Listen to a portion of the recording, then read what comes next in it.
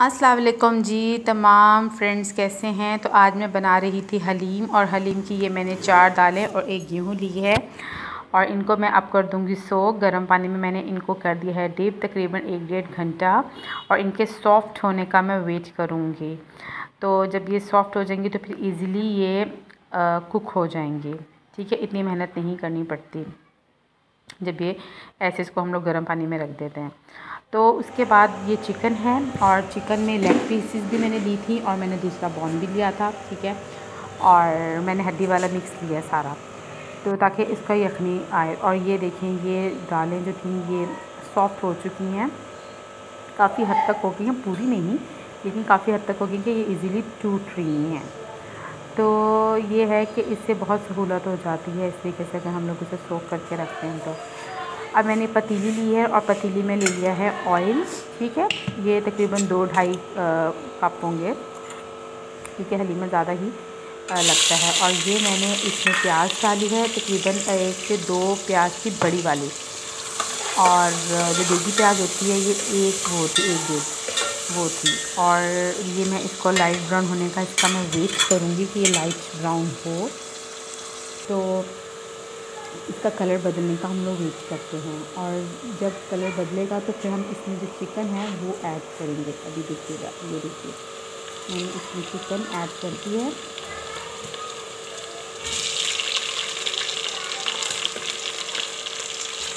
ये जब देख रहे हैं कि इसका हल्का भी है और दूसरा मिक्स भी है मतलब इनके बॉन वाला भी है। और ये देखिए। मैं इसको मिक्स करूँगी और एक हाथ से कैमरा पकड़ा हुआ था, मोबाइल पकड़ा हुआ था, एक हाथ से चम्मच से सही तरीके से वो मूव नहीं हो रहा ना मिक्स नहीं हो रहा। लेकिन कोशिश भी जारी है तो मैं आपको दिखाऊँ कि मेरी जो रेसिपी हलीम की कैसे बनती है झटपट बन जाती है तो प्रॉब्लम नहीं होती है बनाने में और जल्दी से बन जाती है हलीम और ये कि हलीम मसाला है, ये लाइट ब्राउन जब हो गया है, चिकन तो इसमें मैंने ये हलीम मसाला ऐड किया है। ठीक है? तो ये हल्दी मसाला ऐड कर दिया मैंने इसमें और मैंने पूरा नहीं ऐड किया था, मैंने आधे से थोड़ा ज़्यादा ऐड किया था और थोड़ा सा ज़रा सा मैंने बचा लिया क्योंकि ये फ्रीज होता है थोड़ा सा ना और इसका मसाला। तो ये मैं इसको अच्छे से मिक्स कर दूँगी, अच्छे से मिक्स कर लिया है कि ऑयल देखें ऊपर आ जाए वेस्ट करेंगे कि ऑयल इसका ऊपर आ जाए ठीक है? और और इसके बाद में अब ये दाल जो मैंने भिगोई हुई थी, इसको मैं अच्छे से पानी बिल्कुल ड्रेन कर लूँगी ताकि हम उसमें ऐड कर सकें।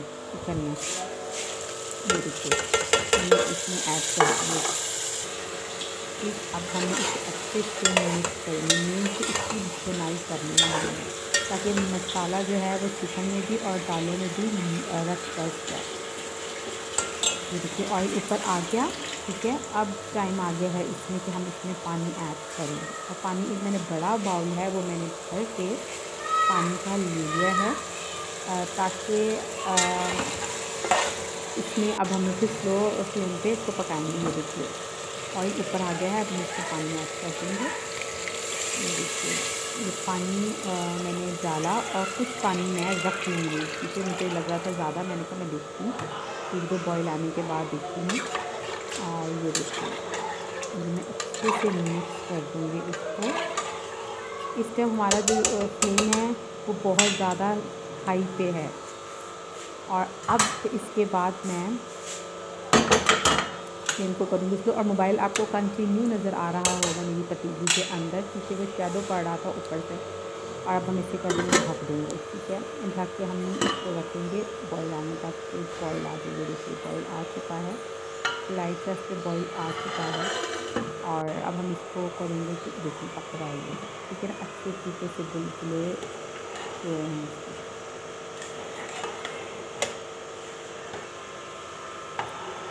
ठीक हो गया? अब ये देखिए, मैं उसको मिक्स कर रही हूँ कंटिन्यू कि ये अच्छे से कर जाए नीचे ना लगे अदरवाइज़ पानी है नहीं लगे, लेकिन सम टाइम ना हिलाएँ तो ऐसा हो भी जाता है। और कलर भी आप देखिए इसका कितना खूबसूरत।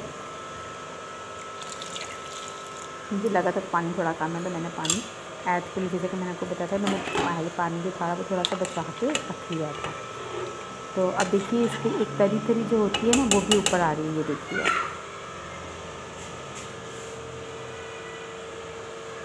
देखिए। और ज़्यादा प्रॉब्लम नहीं होती है। मैं, मेरे घर में ऐसे ही बनती है हलीम हर किसी घर की अपनी रेसिपी होती है, पर मेरे घर में ऐसे ही बनाई जाती है।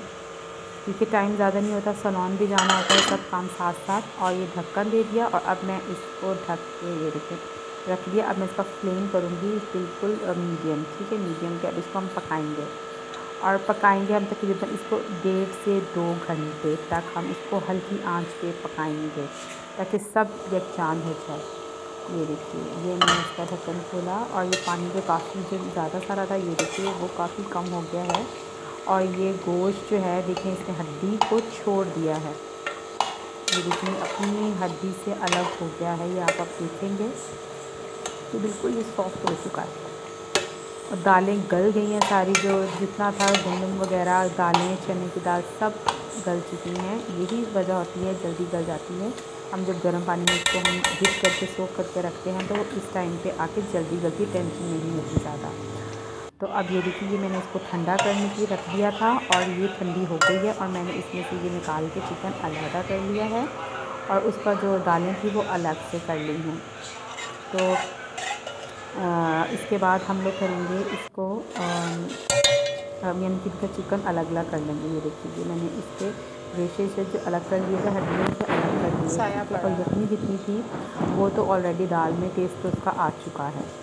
अब हम लोग मिक्सी निकालेंगे और उस पर लगाएँगे ब्लेंडर इस पर ब्लेंड ये देखिए इसको मैंने ऐड कर लिया है मसाला यानी कि दालें और चिकन जो मैंने तोड़ी थी। और इसके अंदर हम लोग डालेंगे और इसको हम लोग कर देंगे ब्लेंड मिक्स पीस लेंगे। और कुछ पीस मैंने निकाल लिए थे और इसको मैंने ना रेशा रेशा करके इसमें मिक्स कर दिया यानी कि सबको ब्लेंड करने के बाद मैंने थोड़े थोड़े से एंड में देखे। साबुत डालने ताकि वो मुँह में जाए खाते वक्त और ये मैंने वापस इसी पतीले में डाला है बर्तन ज़्यादा गंदे क्यों करें? क्योंकि धोने भी खुद ही पड़ते हैं जनाब तो इसे ज़्यादा बर्तन गंदे नहीं करने, इन्हीं बर्तनों में काम चलाना है। अभी मैंने प्याज लिया अलग से, ठीक है, ये भी एक दो दो डेढ़ प्याज होगा, ठीक है, बड़ा डेढ़ प्याज ये ऑयल लिया और ऑयल में मैंने ये, अब मैं ये जो प्याज कटी हुई है, ये मैं ऑयल में डाल दूँगी। ऑयल मैं डालूँगी अभी मैं इसका ब्राउन होने का वेट करूँगी कि ये कब ब्राउन होगी ठीक है? और दूसरी तरफ़ मैंने वो जो ब्लेंड की थी, यानी ब्लेंड कर ली थी अभी को, वो मैंने नीचे हल्की आँच पे, वो पक रही है अभी जो बंद नहीं हुआ, चूल्हा वो कंटिन्यू पक गई मैंने सारा ब्लेंड करके इसमें डाल दिया था। और पीछे पतीली में, और वो लाइट आँच पे पक रही है, और इधर प्याज हमारे ब्राउन हो गए हैं, ठीक है? मैं देख के दिखाती हूँ ढक्कन खोल के। तो इसका का और ये देखिए, प्याज हमारे ब्राउन हो गए हैं। और अब हमारे ये टाइम हो कि हम इसको हलीम में ऐड कर देंगे ये हलीम हलाई बताया था।